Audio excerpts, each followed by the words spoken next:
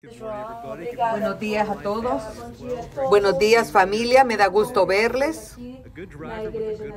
Este es un buen conductor con un buen récord. Creo que tenemos que tener 25 años para ser uno de esos conductores. Gracias por los ayudadores y estamos esperando verles. Quiero decirle a los quiero decirles que los padres van a estar chequeando a sus niños y los van a chequear. Así que venga temprano la próxima semana, va a tener muchas oportunidades. Quiero que tome esta tarjeta en sus manos, estas tarjetitas, y oremos sobre todas las invitaciones que salen. Señor, te damos gracias esta mañana por este domingo de Ramos, esta Semana Santa.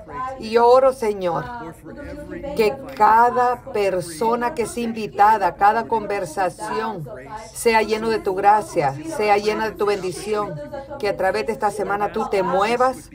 Oramos que sea un momento de unción y de poder, donde, Señor, tu gracia nos llene en la conversación y tu poder se suelte. bendice las invitaciones, bendice, Señor, lo que se va a hacer el día Así que feliz Día de Ramos, aquí es donde comenzamos. Este es el domingo que marca la entrada de Jesús a Jerusalén en un burrito, donde se le grita Osana en las alturas, bendito aquel que viene en el nombre del Señor. Baruch Kabab Adonai. Digámoslo, Baruch, Java, Bashem, Adonai. Esto es en hebreo. Bendito es aquel que viene en el nombre del Señor. y esto no fue algo que fue hablado ligeramente o fácil. Esto era algo reservado para el Mesías. El día de hoy quiero mirar esto con un enfoque específico y lo primero que quiero hacer es describir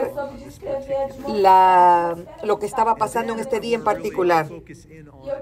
Y quiero enfocarme cuál es el punto de vista del cielo de todas las cosas que estaban pasando en Jerusalén ese día. Y cuando usted mira en Primera de Corintios 5, 7, y no está en mis notas, pero quiero expresar esta frase para poner nuestra mente y nuestro corazón en la palabra. Dice, porque ciertamente eh, la hora de Cristo fue una hora de sacrificio para nosotros. Cristo nuestro Cordero de la Pascua fue sacrificado. ¿Por quién? Por nosotros. Por nosotros.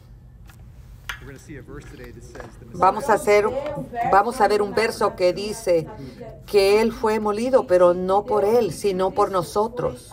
Dígale a alguien, es por nosotros. Es por nosotros. El 30% del Evangelio se enfoca en la, en la vida de Jesús.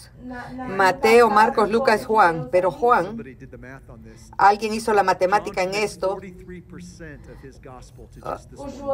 Ah, Juan dedica el 40% del Evangelio de Jesús solamente en esta semana. Así que esta semana yo le quiero animar que usted escoja uno de los Evangelios y vaya a través de la Semana Santa y lo lea para ver lo que Dios le habla. Mateo puede leer Mateo 21, 28, Marcos 11, 16, Lucas 19, 24 o Juan 12, 21. Voy a estar compartiendo de Lucas el día de hoy pero el plan me tiene en, el Evangelio de Juan. Esta semana que hablamos de la Semana Santa, Jesús viene a la ciudad, él, ah, él limpia el templo en Jerusalén por segunda vez, sana a muchos ciegos y cojos. Una de las cosas más extensas de sus enseñanzas toman lugar en esta semana. Miramos a Mateo, las parábolas, los, miramos la parábola de las diez vírgenes. Juan 14, 15 y 16 habla acerca del Espíritu Santo De habitar en Él. Vemos la última cena, cuando Él lava los pies de los discípulos, el monte de Getsemaní, todas estas pruebas y, el, y, la cruz y hay un entierro y al principio de la siguiente semana, en el primer día de la semana, la resurrección. Todo esto sucede en este periodo de ocho días que comienza con el Domingo de Ramos o entrada triunfal. Y quiero poner el tono para usted a entender qué tan grande era la multitud. Jerusalén no podía mantener a toda la gente que venía, porque tenían que ir a tres veces en el año a Jerusalén, la Pascua, el Pentecostés y la fiesta del Sukkot. Tenían que ir tres veces al año. Y en este tiempo ellos estaban reunidos en la ciudad por la Pascua. Y en todas las áreas que estaban en la ciudad iba a haber personas acampando y todos los cuartos disponibles ahí en la ciudad iban a estar ocupados. Habían 256 mil uh, corderos sacrificados durante esta Pascua en Jerusalén, más de un cuarto de millón.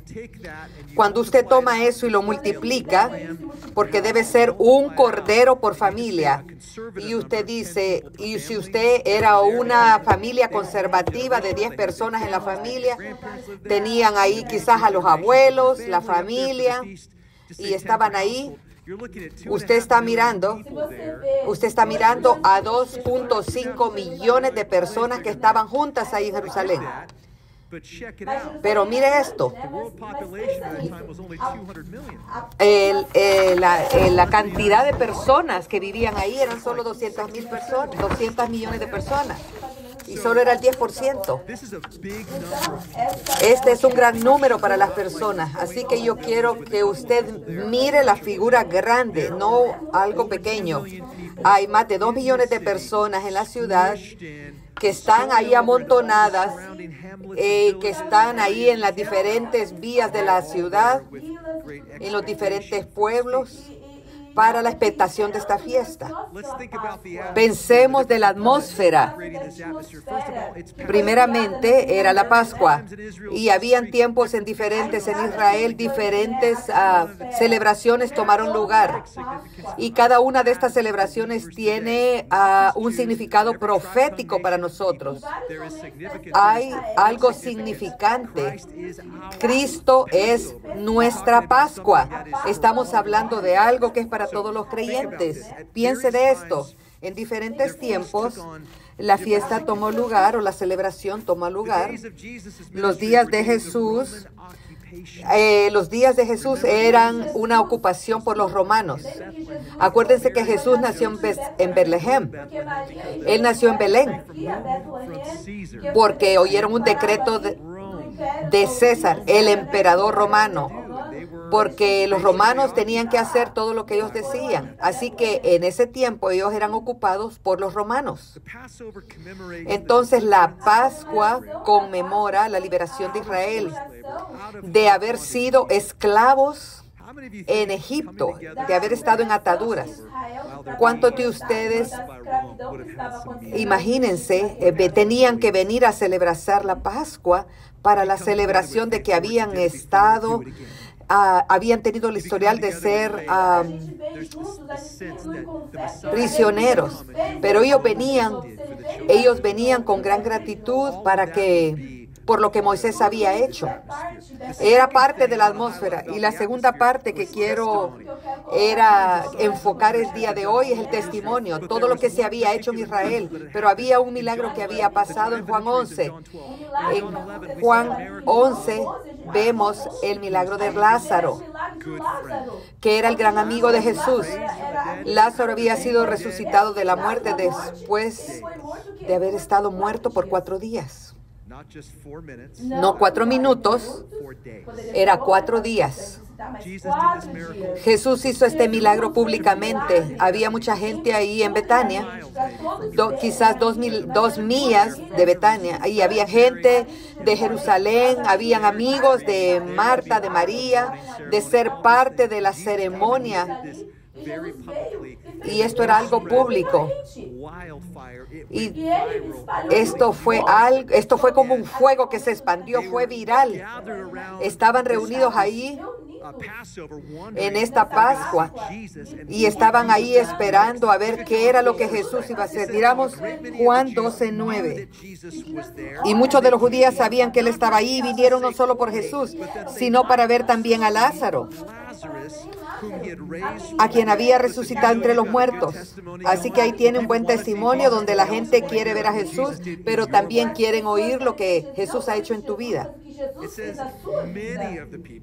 Mucha de la gente vino una gran multitud.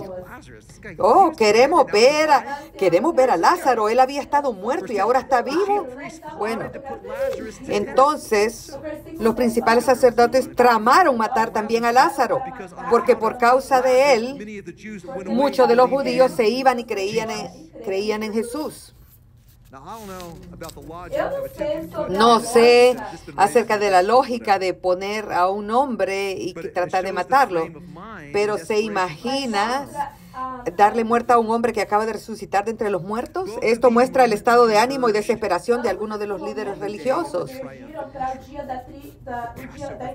Ambos Ambos de estos ah, convivieron en el día de la entrada triunfal de la fiesta para la caspa para el milagro de Lázaro. Y estaba este testimonio de que él había sido resucitado de los muertos. Había fe, había alegría, electricidad en el ambiente. Era una gran multitud que daba la bienvenida a Jesús a la ciudad. Que los fariseos decían, miren, el mundo, todo el mundo se ha ido tras él. Mateo 21:10 registra que toda la ciudad se conmovió. Jesús incluso dijo, os digo que si estos callaran, luego las piedras clamarían. Jesús lo dijo por una tercera razón, para poner la atmósfera, porque había una atmósfera profética, un cumplimiento profético. Era un momento de alineamiento, de ah, acuerdo entre el cielo y la tierra. No era solamente eh, mes o día, sino que era una cita divina donde muchos nos recuerdan, donde muchos habían dicho, eran palabras proféticas ah, desde mucho más antes en el Antiguo Testamento. Cuando usted lo mira y lo ve, todo lo guía a este momento de Jesús viniendo a la ciudad donde él era reconocido en este momento como el Mesías, como el que iba a venir. Este era el cumplimiento profético. Esta era la entrada triunfal y había sido, había sido profetizado cinco siglos atrás para el exacto día en el libro de Daniel. Esto es algo maravilloso. Esto es sorprendente. Le voy a dar el versículo. ¿Cómo funciona esto? Pero las profecías bíblicas es increíble no solo el tiempo, pero la manera, el método en que Jesús entró a Jerusalén el día de Ramos. Y fue escrito también por Zacarías en el verso 9, donde vino humildemente sobre un asno. Miramos a Daniel 9:25, predice el marco de tiempo exacto de la entrada de Jesús. Conoce pues y comprende que desde la salida del manto para restaurar y construir Jerusalén hasta el mes príncipe, habrá siete semanas y sesenta y dos semanas. Entienda esto. Hay un mandato aquí. Esto va a suceder cientos de años después que Daniel recibió esta visión. Va a venir un, un momento donde se va a reconstruir la ciudad de Jerusalén. ¿Cuándo? Vino en los días de Nehemías. Vino en los días de Nehemías. Y le viene Nehemías y le dice al rey, ¿por qué? ¿A qué quieres hacer? Construir mi ciudad. Y sabemos que lo hizo. Ahí sabemos el mandato que fue dado. Ahora miramos y leemos la Biblia. ¿Por qué estoy leyendo todos estos nombres? ¿Por qué estoy leyendo todas estas leyes? ¿Por qué tenemos que pasar todos estos días? Quizás no sea relevante para tus días, pero cuando tú lo ves y ves las profecías bíblicas, entonces te das cuenta que estos nombres y estas fechas son importantes y son para estos momentos. Estas son las razones. Hay un reloj que empieza a activar. Vemos que empezamos a medir los días y los meses. Ellos, ellos miden el tiempo. Usted puede tener una semana o días o día de años. Y aquí hay un periodo de siete años. Y cada un periodo de siete años iba a haber como un, un día sábado. 62 más 7 de lo que leímos, si lo podemos leer, 62 más 7, esos son 69 años multiplicado por 7 usted tiene 483 años. Son siete semanas y lo multiplica, son 483 años. Y el, luego el mandato de reconstruir a Jerusalén, 483 años. El Mesías, el príncipe, sería revelado.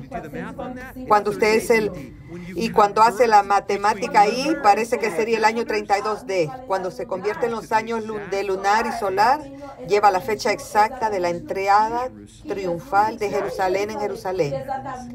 Ese fue el día de la presentación del Mesías de Israel, cuando él iba a ser revelado. Déjeme decirle, ese fue el día. Es increíble de ver esto. Lo hice corto porque hay un gran formulario ahí. He enseñado de esto y es algo increíble. Y es el momento exacto del Mesías. Esto es un elemento profético. Y luego Zacarías 9 dice, alégrate mucho, oh hija de Sión, grita, oh hija de Jerusalén, he aquí vuestro rey viene a vosotros. Él es justo y tiene salvación, humilde y montado en un asno, un pollino, hijo de, hijo de asna. Él viene a tener salvación, libertad, victoria, liberación. A este momento que Zacarías vio, donde la gente debe regocijarse. Regocijarse gira la influencia de una emoción volienta, alegrarse, gritar, abre los oídos, hace un ruido alegre. Y la locación es en Jerusalén, porque Él viene con salvación.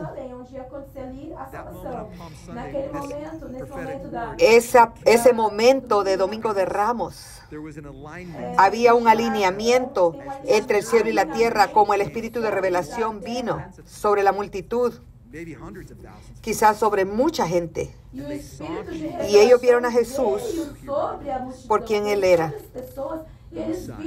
el Mesías. No solo un rabí, no solo una persona de Nazaret, él era el Mesías. Y en ese momento, eh, la alabanza fue genuina. En ese momento la revelación fue auténtica. Cuando ellos están clamando, Osana en las alturas, bendito es aquel que viene en el nombre del Señor. Cuando ellos están moviendo las palmas y están diciendo Osana al rey de David, todas las lenguas habían sido reservadas para ese momento y eran genuinas porque estaban yendo a un momento profético donde el velo de sus ojos era removido y fue lleno en ese momento. Leamos la historia completa de esta entrada triunfal en Lucas 19, 28 al 40. Vamos a escoger el verso 28. Habiendo dicho esto, siguió adelante subiendo a Jerusalén. Y aconteció que cuando se acercaba a Bethtage y Betania, al monte llamado de Olivar, envió dos de sus discípulos, diciendo, id a la aldea que está enfrente de vosotros y al entrar encontraréis un pollino atado en el que nunca nadie se ha sentado. Suéltala y tráela aquí. Y si alguno os pregunta, ¿por qué lo desatáis? Le responderéis, porque el Señor lo necesita. Entonces los que habían sido enviados se fueron y lo, entraron, lo encontraron tal como él había dicho. Pero mientras desataban el pollino, sus dueños le dijeron, ¿por qué desatáis el pollino? Y ellos dijeron, el Señor tiene necesidad de él. Entonces esa fue la palabra mágica y era lo que necesitaban oír. Ellos tenían esa expectación de que iba a pasar eso. Entonces lo llevaron a Jesús y, sus y echaron sus propios vestidos sobre el pollino y pusieron encima a Jesús. Y yendo él, muchos tendían sus mantos en el camino.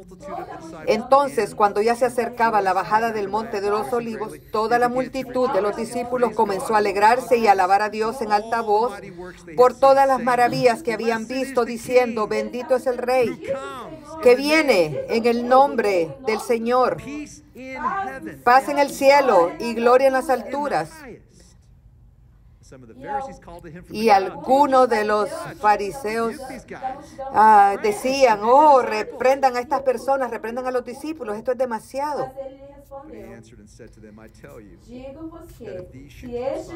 Pero él respondió y les dijo, os digo que si estos callaran al instante las piedras clamarían. Así que yo no creo que Jesús estaba hablando eh, solo por hablar. Esto era un cumplimiento profético. Era un momento precioso en que Jesús era presentado y revelado a las naciones como el Mesías. Ahora, una expectación. Él liberó a Israel de Roma. Pero eh, eh, pero la esencia de la liberación iba a ser algo más profundo. Volvamos ahora a Daniel, porque vamos a mirar aquí la Pascua. La primer Pascua es una profecía increíble de Jesús porque Él es nuestro Cordero. Y aquí vamos a poner unas juntas, unas cosas juntas. Daniel 9:26 dice, el Mesías será cortado, pero no por sí mismo. Eso es lo que Primera de Corintios 5.7 dice. Jesucristo será sacrificado por nosotros.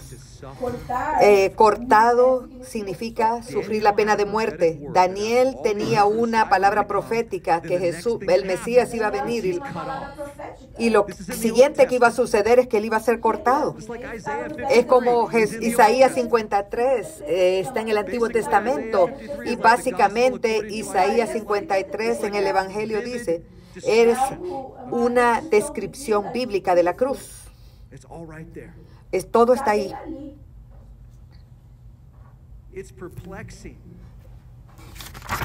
Es perplejo que una multitud puede ser atrapada en un momento ah, como este, cuando Jesús entra a Jerusalén, pero esa misma semana Jesús es crucificado en la misma ciudad. Y aún sucede con el propósito de Dios. Es interesante porque en Lucas 19, después que Jesús viene y entra a la ciudad, dice, Él empieza a llorar sobre la ciudad porque perdieron la hora de su visitación. Y esto nos empieza a mostrar algo.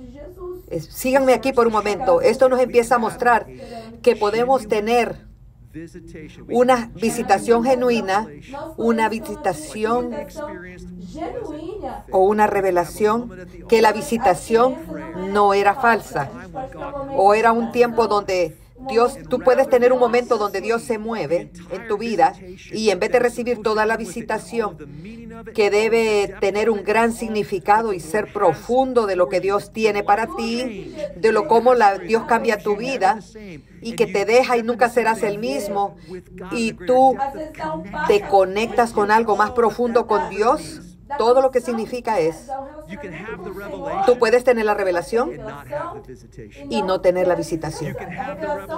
Tú puedes tener la revelación. Oh, eso fue bueno. Oh, eso es su alto, sublime. Oh, sí. Así estaba la gente. Oh, así estaban las personas, la multitud.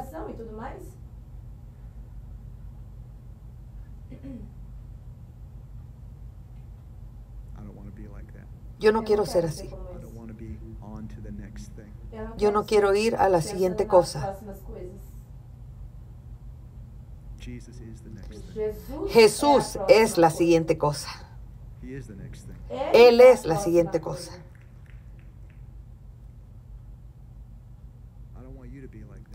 Yo no quiero que usted sea, sea así, donde el Señor trae algo tan real a su vida y poderoso y le deja o me deja a mí porque Jesús lloró. Este es un momento increíble, profético, pero casi todos perdieron el significado. Aún los discípulos no estaban esperando que Él hiciera eso. Ellos no lo podían concebir. Pero después que Él resucitó, Entonces esa luz se encendió más y más e y empezaron a ver lo que Él realmente estaba haciendo. oh, no podemos decir, oh, ¿cómo fue que ellos no vieron eso? No, nosotros aquí somos esas personas. Messiah shall be cut off O El Mesías será cortado, eliminado, not for himself mas pero no por sí mismo. Si sino por sí mismo. ¿Por quién? Por ti. Por ti. Por ti. por nosotros. Por el mundo. al cual Dios ama. Quiero hablar como el Cordero durante la Pascua porque creo que en estos días esto refleja toda la palabra profética que está en la celebración de la Pascua.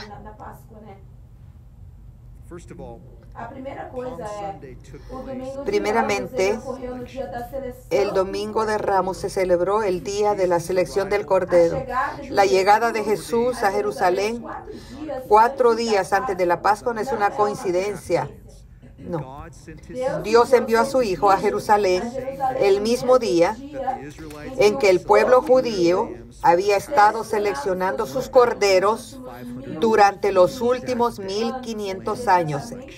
En ese exacto día, el cordero inmolado desde la fundación del mundo entró en Jerusalén el día de la selección del cordero. En el Antiguo Testamento, rode into the city No dia 10 late de afternoon. Nisan, El Señor entró a la ciudad. No final da tarde da Páscoa. Exodus 12:3 says, Éxodo 12:3 dice, hablad a toda la congregación de Israel diciendo, el 10 de este mes cada uno tomará para sí un cordero según la casa de su padre, un cordero por familia. Y ahí hay una promesa, un cordero por familia. Tú y tu casa serás salva. Esa es la nueva promesa del Nuevo Testamento. Ahora lo guardaréis hasta el día 14 del mismo mes. Entonces toda, es por of the 14 congregation días ese cordero estará contigo. Entonces toda la asamblea de la congregación de Israel lo matará alrededor al atardecer. El domingo- El domingo antes de la Pascua, cuando todos los corderos pascuales serán traídos a Jerusalén desde el campo de Belén donde nació Jesús para el sacrificio, vemos a Jesús, el cordero perfecto, entrar a Jerusalén.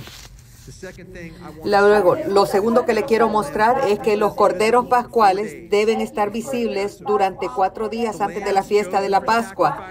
Los corderos elegidos para el sacrificio por cada familia el 10 de Nisan deben estar visibles durante cuatro días antes de la fiesta de la Pascua para que todos lo observen, la perfección del cordero, Para que tenga conexión con él. Yo sé que cuando usted piensa de Jesús es lo como decir, pensamos que este es un gran cordero con grandes cuernos. No, él es un cordero, él es un cordero. Él es como una oveja, un bebé, una pequeña oveja. Porque tenían que tener ellos el cordero por varios días, porque era débil y tenían que cuidarla por cuatro días. Tenían que tener un vínculo con ella. Los niños jugar con ella. Esa es una gran lección ahí.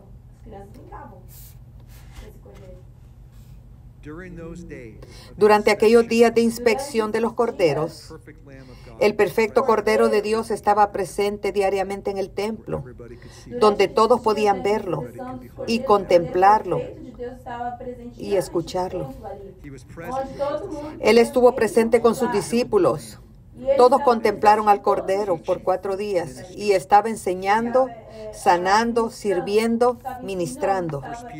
Primera de Pedro 1.18 dice, sabiendo que no fuisteis redimidos con cosas corruptibles como plata u oro de vuestra conducta. Él fue escogido. La tercera cosa que quiero mostrar aquí de esta Semana Santa, de esta entrada triunfal, es que Jesús derramó su sangre por nosotros mientras se sacrificaban los corderos pascuales para la fiesta. Quiero que se recuerden que la primera fiesta de lo que estamos viendo en Éxodo, lo que significa para nosotros, ellos tenían que tomar la sangre del cordero y tenían que untarla en los postes de las puertas, en el dintel. Piense por un momento de eso. Las manos, las manos de Jesús al lado de la cruz. Eso era como, eh, como su, su la corona había puesto, sido puesta sobre su cabeza y cómo estaba ahí la sangre siendo derramada. Y ahí estaba el Cordero de Dios que estaba siendo colgado en una cruz por toda la inmunidad, ah, por toda la humanidad en Jerusalén. Y en el 2030, como dos mil años después, around 33 AD, give or como. Esto es algo sorprendente. Piense por un momento. cuando se comieron ese cordero. La Biblia dice, ellos tenían que comerlo con un pan sin levadura, con sus cinturones puestos, sus zapatos puestos, con su vara en la mano, listos para ir, listos para salir, listos para salir de Egipto. Tenían que comer con la expectación que cuando yo me como esto, cuando yo participo de esto, la sangre que ha sido derramada, esta, este cordero va a cambiar nuestra vida, vamos a salir de este lugar de atadura y vamos a ser libres, nos vamos a mover, vamos a ir a lo que Dios tiene para nosotros, todo porque por este cordero. La muerte va a pasar de casa en casa, pero no entrará en nosotros por causa de la sangre. Y la Biblia dice que cuando ellos se fueron de Egipto, ninguno de ellos estuvo enfermo. ¿Por qué? Porque caminaron bajo el poder de la sangre. Ni siquiera uno. Después de 430 años de esclavitud, no había nadie, no había artritis, no había enfermedad. Imagínense lo que hace un trabajo duro, fuerte, te cansa. Pero la sangre,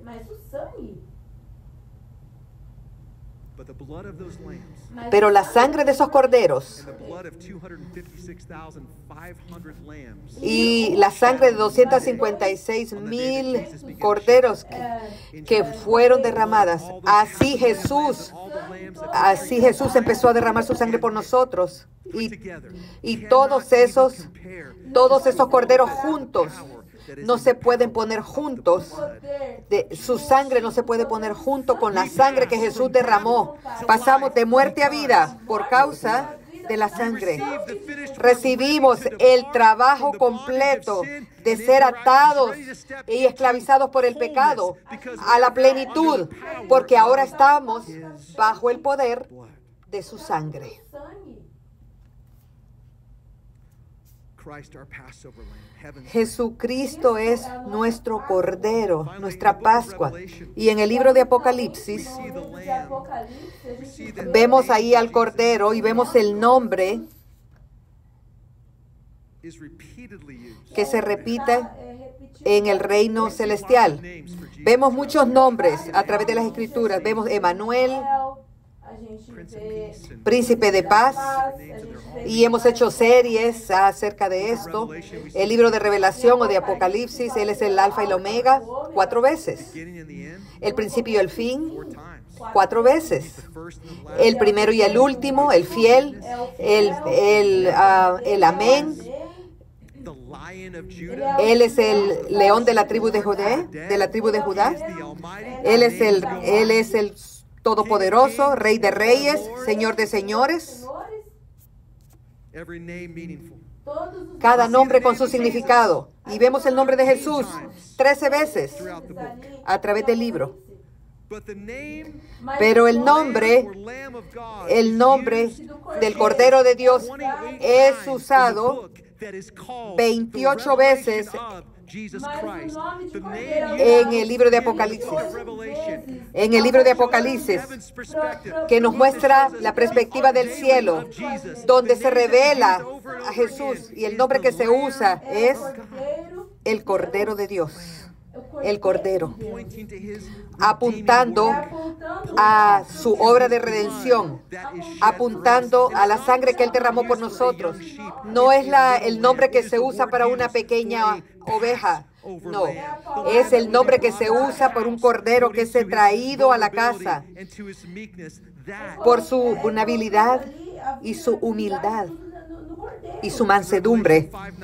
En Apocalipsis 5.9 dice, tú nos has redimido para Dios por tu sangre. Y cantan, digno es el Cordero. Ese es el canto del cielo. Digno es el Cordero. En Apocalipsis 12:11, y lo vencieron con la sangre del Cordero. Y hemos oído como en Apocalipsis también se habla del libro de la vida. Y, y luego también en Apocalipsis 13:8 dice el libro de la vida del Cordero inmolado. Tú estabas en el libro Tú estabas en este libro inmolado por lo que Dios ha hecho por ti, por lo que el Cordero ha hecho por ti, el Cordero ha hecho por mí, y es solo por la sangre. Así es como, como entras en ese libro. Y va a haber gente en el cielo, de toda tribu, de toda lengua, de toda nación, gente en diferentes idiomas. Y, y, si tú tienes a alguien con quien no te lleva, más vale que arreglen las cosas, porque entonces no estás listo para el cielo. ¿Tú crees que yo estoy bromeando? No, tú no estás listo. Si tú tienes odio en tu corazón por algún grupo de personas, debes traerlo a la cruz y rendirlo a los pies de Jesús porque si no, no estás listo para el cielo. Encontramos ciertos grupos de personas donde es muy difícil uh, llevarte con ellos, no los soportas. Yo tomé una clase bregando que se llamaba Bregando con personas difíciles. Ese era el título de la clase.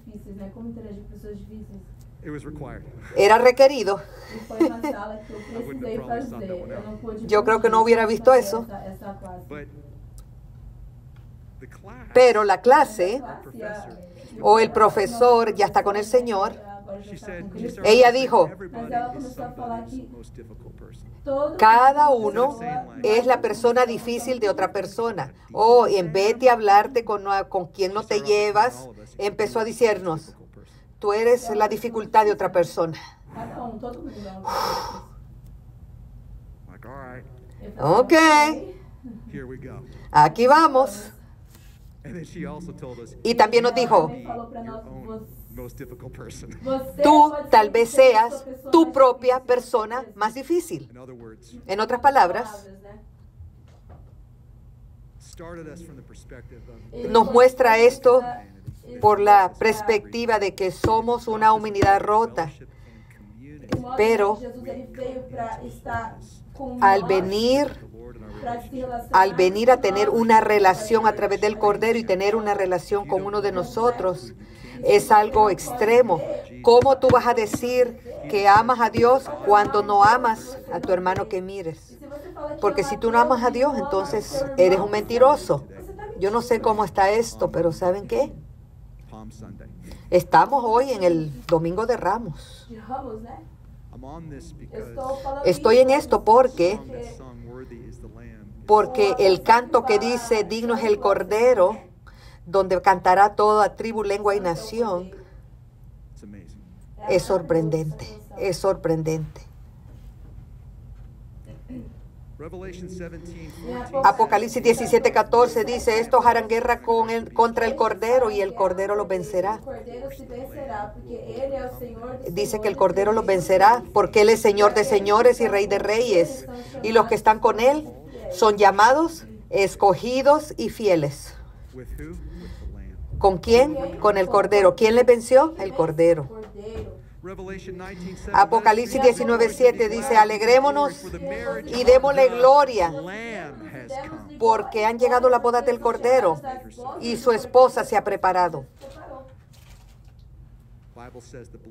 La Biblia dice que la sangre de Jesús habla mejores cosas y habla mejor más que la sangre de Abel. Porque eh, la sangre de Abel clamaba venganza, pero la sangre de Jesús clamaba misericordia, hablaba misericordia, hablaba perdón. Nosotros nos preocupamos de, No sé. hablamos, hablamos de cómo nosotros hacemos las cosas y vamos a cantar este canto. Y puedo sentir a muchos de nosotros que conocemos la Biblia y que no tenemos que obedecer. No, Jesús dijo, si me amáis, guardad mis mandamientos y obedecerlos. No somos salvos por mantener sus mandamientos, somos salva- salvos por su sangre.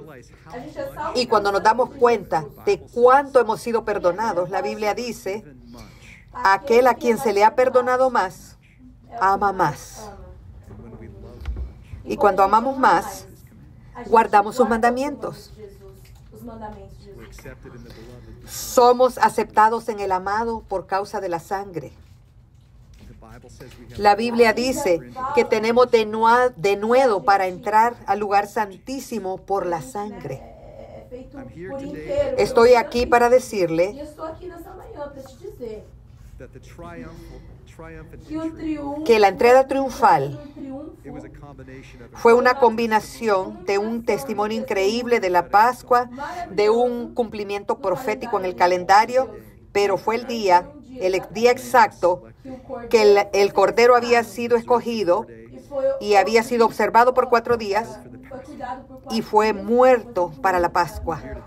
Estoy aquí para decirle que la revelación de Jesús como el Cordero y el poder de su sangre es para redimirnos, para comprarnos, significa para pagar el precio por nosotros, redimirnos a Dios. Estoy aquí para decirte hoy que la sangre de Jesús no solo te saca de tu pecado, pero te trae en conexión con Dios. La sangre de Jesús no solo te saca de Egipto y te saca de la atadura, sino que te trae a vida eterna te trae a la plenitud en Cristo, a una relación con Él. La sangre de Jesús cambia nuestras vidas, cambia nuestra identidad, nos cambia de adentro hacia afuera, nos lava, nos purifica, nos limpia y absolutamente nos transforma. Y es todo por la sangre de Jesús que habla perfección. Creo que el, el lo mejor que recibimos del día de Domingo de Ramos es que el Cordero de Dios toma, que toma el pecado del mundo, fue presentado a ellos y al mundo entero.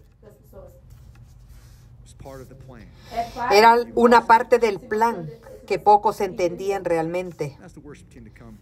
Voy a pedir al grupo de alabanza que pase. The final thing. Y la parte final, creo que yo ya dije la parte final, pero déjeme decirle una vez más. La parte final que quiero enfatizar aquí that Jesus es que Jesús es el Cordero, shed his blood derramó su sangre por nosotros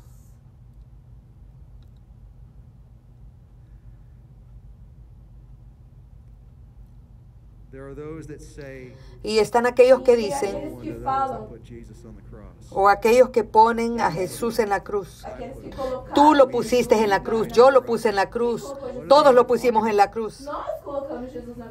¿Qué? A la gente habla de matar a Dios. Yo pude matar a Dios. No, sé lógico, sé lógico, no podemos matar a Dios. Piensa en esto. "No one takes my Jesús life." dijo, nadie tomará mi vida de mí. Yo. Vida dele. Think about the Garden of Gethsemane. Yo la derramo. Piensa en el en Getsemaní. Él, hands Jesús vino a ser llamado el Cordero. Y, él, em- y la Biblia dice que cuando Jesús estaba en Getsemaní, él empezó a sudar sangre antes de que alguien lo tocara. Porque él decidió poner su vida por nosotros. Cuando, ¿se acuerdan cuando Jesús les dijo, tomad algunas espadas? Y la gente viene a arrestarlo a él.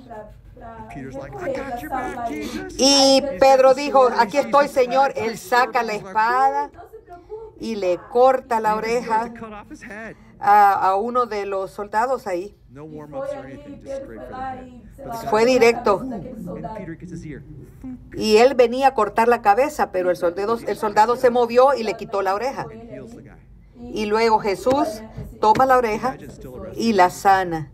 Y saben, imagínense, aún después de eso, él arrestó a Jesús. Jesús les dijo, "Ah, ¿por quién ustedes están buscando? Cuando Jesús les preguntó, Y él les contestó y dijo, yo soy al que buscan. Y. ¿Y saben qué? Él pudo haber matado a Piloto, él pudo haber matado a todos los soldados, pudo haber matado a toda la gente en Jerusalén, pero nadie tomó su vida. Él la derramó. Él la rindió voluntariamente. Porque la cruz. No sucedió a Jesús. No, Él la escogió de amor, fue del amor, de la misericordia. Él decidió hacer un camino para ti, para mí, para reconectarnos al Padre. Él lo escogió para darnos vida eterna. El Cordero de Dios derramó su vida, rindió su vida por nosotros y dijo, yo te he amado con amor eterno y nadie te puede separarnos de ese amor. Eso es lo que la sangre de Jesús habla. El enemigo nos acusa y nos condena. Oh, tu pasado, tu ansiedad. Pero la sangre de. Jesús habla. Y cuando habla, crea algo nuevo, nos cambia de adentro hacia afuera. Hay poder en la sangre.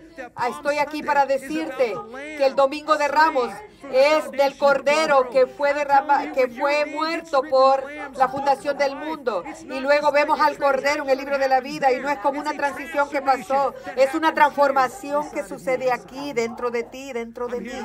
Estoy aquí para recordarte hoy que hay poder en la sangre y que apenas podemos darnos cuenta cuánto amor hay, pero en el cielo lo cantan de eso, para siempre.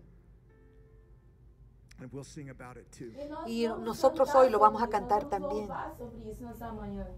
Oh, Hay himnos antiguos que hablan y cantan de la sangre. Ay, decimos, ah, eso es una escuela de, de los antiguos. No, no, eso es por siempre y lo vamos a cantar porque casi no sabemos lo que yo estoy hablando hoy. Apenas lo sé. Juan dijo,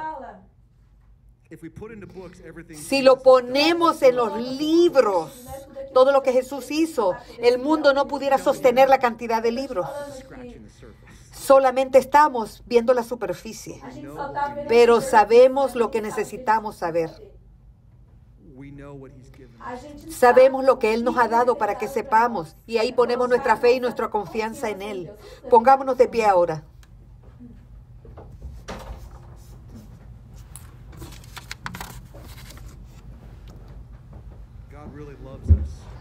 Dios realmente nos ama,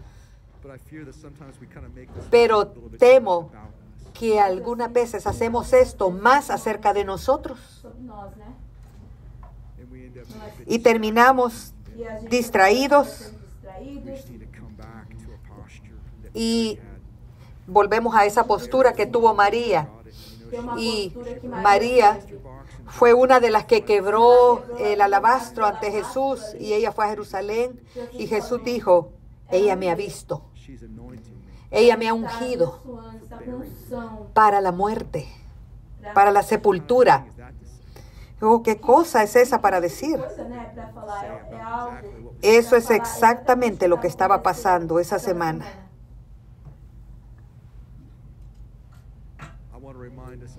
Quiero recordar recordarles a todos que la sangre de Jesús ha traído tanto perdón a nosotros. Y nuestra, res- y nuestra respuesta debe ser que tenemos que ser llamados a la adoración. Aquel, él o ella que ha sido perdonado de lo mucho, dará mucho, adorará mucho, seguirá tras Dios. Así que camina en tu caminar con Jesús. Cerremos nuestros ojos. Señor Jesús, gracias por recordarnos en tu palabra hoy el poder de tu sangre. Yo oro al Espíritu Santo. Oro por esos dones de sabiduría y revelación de conocer a Jesús. Quien fue, quien es y vendrá. Señor, estamos agradecidos por siempre el día de hoy, por todo lo que tú has hecho por nosotros. Y oro que haya una revelación más profunda. Pon tu mano en tu pecho. Que haya una revelación más profunda en cada corazón. De tu amor. De lo alto, lo bajo, lo profundo. Lo ancho. De conocer el amor de Dios. Que nos ama to tanto. Que oigamos hoy lo que tu sangre hablas a nosotros. Que te oigamos decir. I love you. Te amo.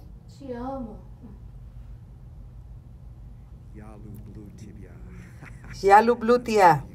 I love you.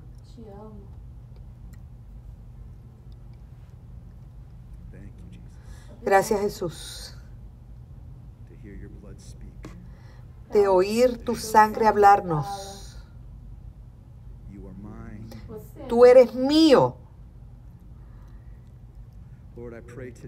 Señor, yo oro hoy, en estos momentos, Espíritu Santo, que tú vengas y que tú rompas toda condenación y temor en el nombre de Jesús, de las personas. Que tú lo quites de nuestros hijos. Hoy yo veo al Señor darte un nuevo lugar para que te pares, una nueva palabra para que te mantengas firme. La escritura dice, tú has puesto mis pies sobre la roca. Ahí estás parada. Recibe eso el día de hoy de Él. Recibe tu libertad. Quiero tomar un momento. Este domingo de Ramos, cuando le dieron la bienvenida a Jerusalén.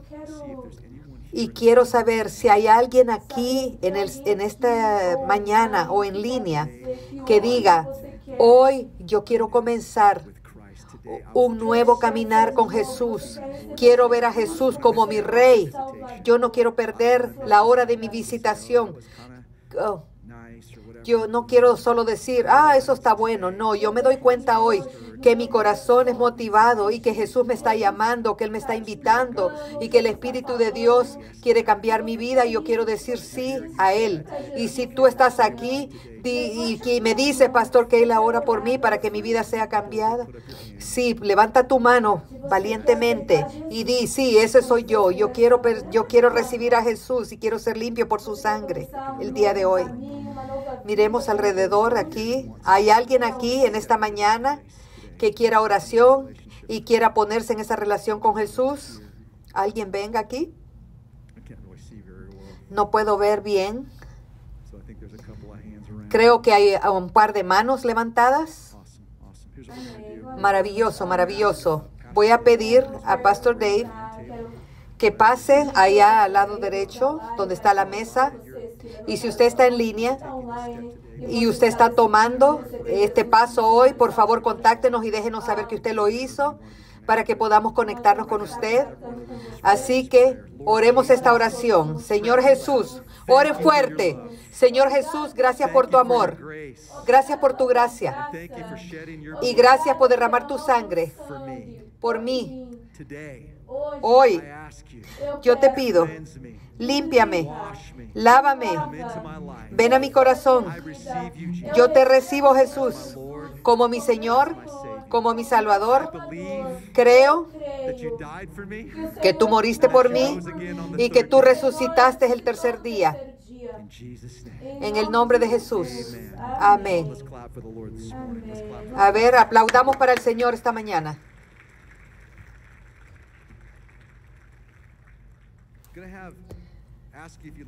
Voy a pedirles que si usted ha levantado su mano, ah, pase ahí con el pastor David mientras cantamos este canto. Y quiero invitar también a los ministros aquí al grupo de, administración que pasen aquí al frente.